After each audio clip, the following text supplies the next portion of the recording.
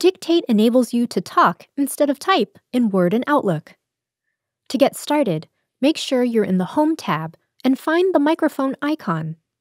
Now select Dictate and start speaking.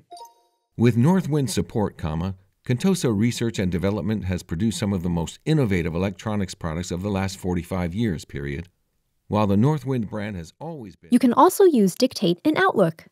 Click Dictate under the Message tab when you are writing a new email or response. Great work, team! Exclamation point. New line. This was a joint effort by so many people, period. We couldn't have done it without everyone doing their part, period. Thank you, comma, and let's keep it going into Q3. New line. Both in Word and Outlook, you can access the settings at any time to change the language and turn on auto punctuation. You can also click Help for quick access to voice commands.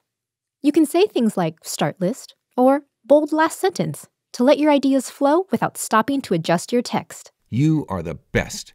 Exclamation point. Bold last sentence. New line.